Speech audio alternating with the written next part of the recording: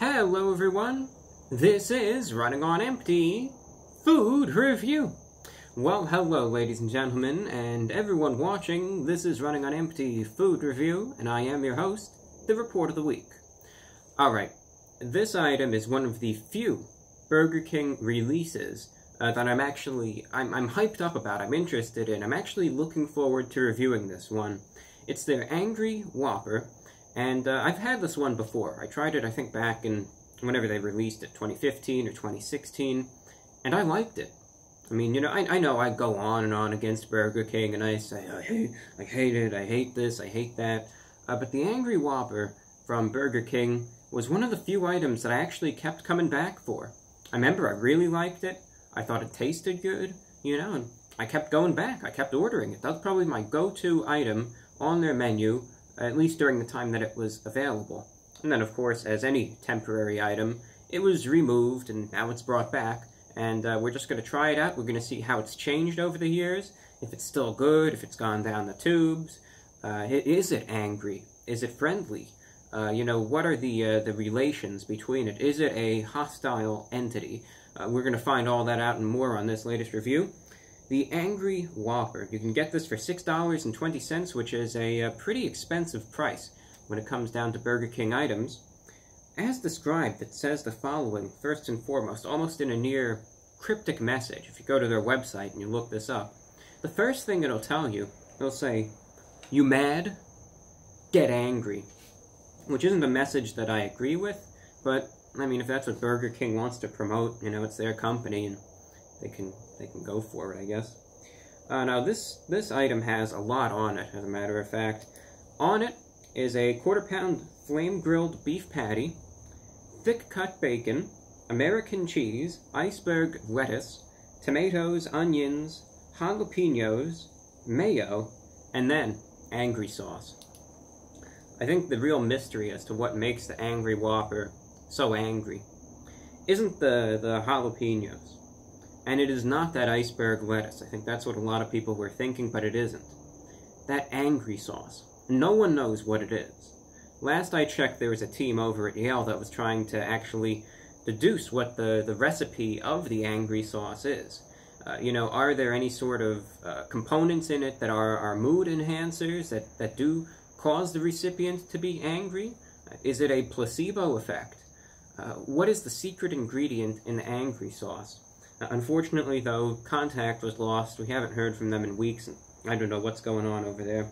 No one knows. Uh, but if you do remember, the last time that they released this, there was some controversy in the news about the Olympics. And believe it or not, they actually had to ban any athletes that were participating in the Olympic Games uh, from consuming any of the angry sauce because they believed that it would make you so angry uh, it could actually kind of cause you to outperform those who did not consume Angry Whopper with said angry sauce. So it's just a little bit of tidbit, uh, which was obviously true. It's, it's like I was just making that one up on the spot. Uh, but either way, no one, no one knows what the angry sauce is. There it is in the Whopper packaging. And there I am with Whopper packaging. And let's uh, let's see what it looks like. Angry Whopper.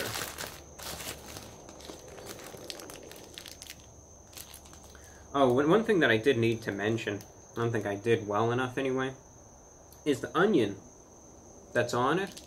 And the Burger King website itself wasn't the most descriptive. Was, uh, it's kind of, it looks like this. I think they called them onion petals. They really didn't mention, though, that it's fried onions. So. that was my bad, but just for clarification. there it is. I believe what's dripping out the side there is the angry sauce. There's a tomato, and uh, there's the, there's some angry sauce. We got an angry sauce sighting, and uh, this is what it looks like. Oh, there goes the poor tomato. Plop it back on. Top bun, bottom bun.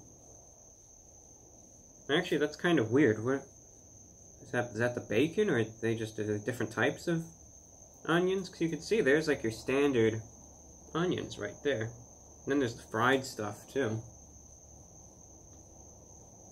Who knows? Alright. Either way, we got uh, the pickles. Maybe those are the jalapenos. Damn to find out. No, no, there's a jalapeno. Who knows? It's the Angry Whopper. It's an abyss. No one knows what's truly in there. Uh, but I'm just going off of the, the ingredients that were on their website and everything that should be on it. With that said, I'm going to try it out for you. I'll let you know what it tastes like. How spicy is it? How hot is it? How angry is it? I'll let you know. It's coming up in a minute. Angry Whopper from Burger King going in.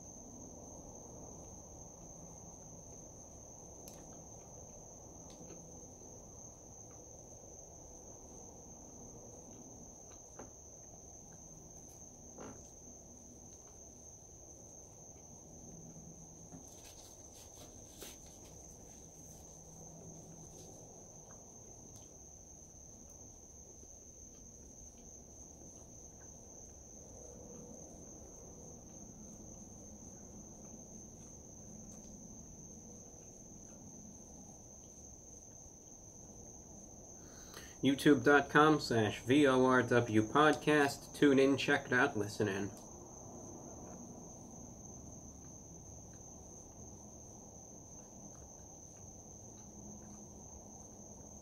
We're going to get one more bite.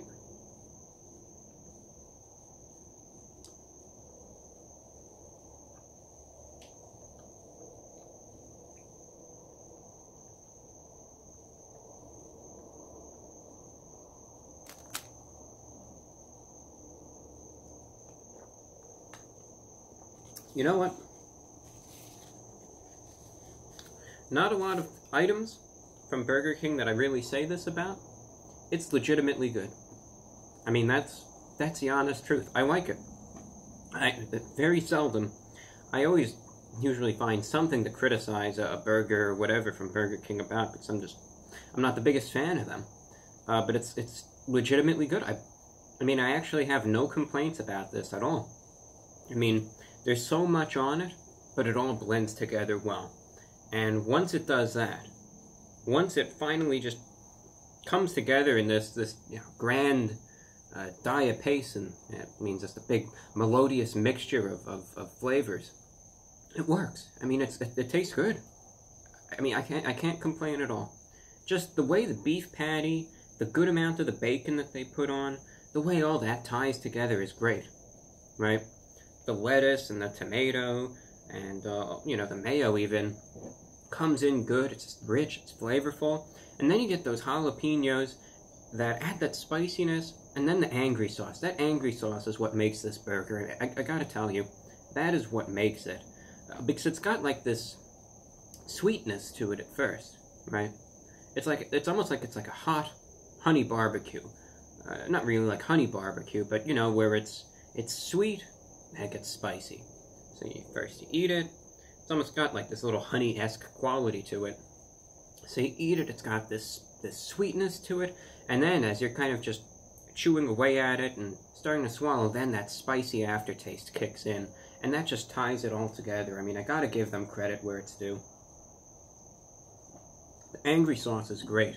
I mean, this is a sandwich that's packed with flavor, and I, I mean, I just, I really like the way that it is where it's not like you just bite it and it's just overwhelmingly hot at first. No, you get that sweetness, then it transitions into that spiciness, and I mean that is that is great. and there's not too many times where I'm I'm this uh, satisfied, especially with the Burger King product. But I, I mean, I think they did a great job with this one, and that's that's all that I can say. I, I literally I have no complaints about this at all.